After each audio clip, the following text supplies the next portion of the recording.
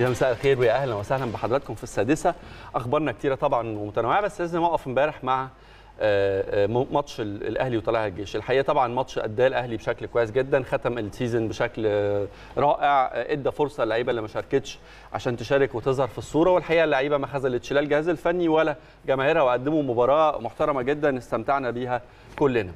الحقيقة اللي خلى المشهد يزداد جمالا هو لقطة آه، آه، اللعيبة والجهاز وهي بتتصور مع آه، درع الدولي آه، الدوري. مشهد اتكرر كتير ولكن المتغير الوحيد فيه الأجيال. جيل ورا جيل ورا جيل. جيل بيسلم جيل تاني راية البطولة. والمشهد ده شفناه 42 مرة.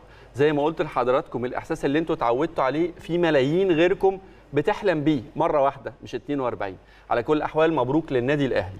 اللي الحقيقة يعني ما كنتش أحب إنه حلقة النهارده وأنا بحتفل معاكم بفوز بالبطولة إن أنا أتكلم فيه أساسا.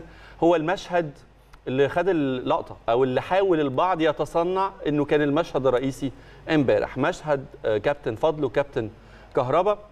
اللي في تقديري الحقيقة إنه مجرد سوء تفاهم بسيط لكن الحقيقة اللي ضخمه واداله حجم أكبر بكتير جدا من حجمه للأسف الشديد الإعلام الرياضي اللي بدل ما يروح لجزئية الأهلي البطل بطل الدوري المصري بطل مصر والموسم الرائع اللي أداه في ظل عدد كبير جدا من المشكلات والعقبات توقف وغيابات ورحيل وإيقافات والى آخره وأكثر من بطولة ورغم كده كان المشوار أكثر من ناجح. بدل ما نتكلم على الأرقام القياسية اللي بيحققها النادي الأهلي بدل ما نتكلم على مشوار الأهلي في الدوري اللي حقق من خلاله عدد كبير جدا من الأرقام اللي من الصعب أساسا على أي فريق إنه يكسرها. لما نتكلم على لقطة خروج أحمد فتحي من الملعب والتحية الكبيرة اللي آه، آه، خدها الحقيقة كابتن النادي الأهلي واللي بيترجم من خلاله حب واحترام الجماهير رغم انه إنها عارفة إنه ده آخر موسم ليه وإنه ال season اللي جاي أحمد فتحي هيكون لابس تيشرت تاني غير النادي الأهلي وهيقف وش زمايله في الفريق وهيلعب لمصلحة فريق تاني ولكن ده ما قللش ابدا من حب واحترام الجمهور لنجم.